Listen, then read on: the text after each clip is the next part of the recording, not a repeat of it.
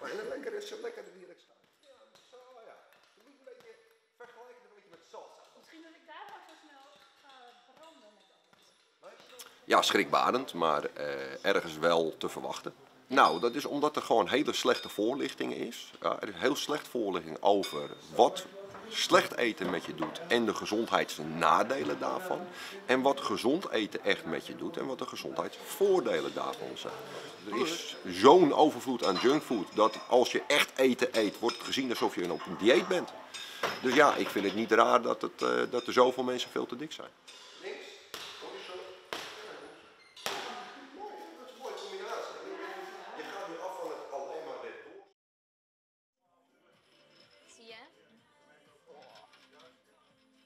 Was voor jou de reden om te beginnen met het programma?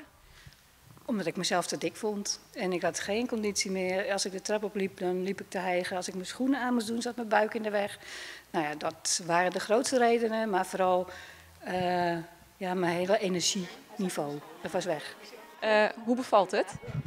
Ja, goed. Eigenlijk heel goed. Verbazend goed. Ik vond het ook spannend om te gaan beginnen ermee. En eh, vanaf april zijn we ermee begonnen en het gaat goed. Ja, ja. En ik vind het leuk. Dat is vooral belangrijk. Dus het gaat goed. Ik heb al meer dingen geprobeerd. Qua afvallen, hè, Sonja Bakker of, of een uh, koolhydraatarm dieet. Of, en dat kwam nooit echt van de grond. Ja, misschien een week of twee. En dan was ik iets kwijt, maar nooit genoeg voor mezelf, dacht ik. Dus er moet gewoon meer gemotiveerd worden bij mij. Kleine doelen stellen. Want elke keer als je een doel stelt, dan is dat, geeft dat zoveel motivatie. Het is een soort klein feestje. En als je dat telkens blijft doen, dus inderdaad voor mij was het elke keer 2,5 kilo afvallen. En elke keer als je dat haalt, voelt het toch weer een beetje als een soort feestje.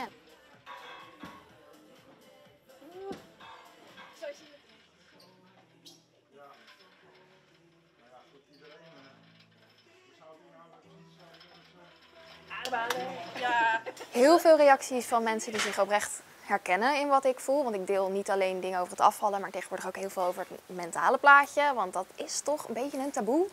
Want afvallen is niet alleen maar, oh ik moet meer calorieën verbranden dan ik binnenkrijg. Het is ook jezelf blijven motiveren en jezelf in je positieve gedachten houden en doorgaan. Als mensen echt willen veranderen, dan kan dat. Maar dat is het ook. Je moet het echt willen. Want als je het niet wil, dan kan je gaan sporten en dan kan je gaan doen wat je wil. Maar uiteindelijk zit het echt wel zeg maar, bij het willen.